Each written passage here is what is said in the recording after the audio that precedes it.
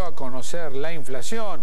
Se sabía que iba a estar entre 0,7 o 0,8%, porque efectivamente durante los últimos 18 meses, o da 0,7 o da 0,8, y en este caso fue 0,8%.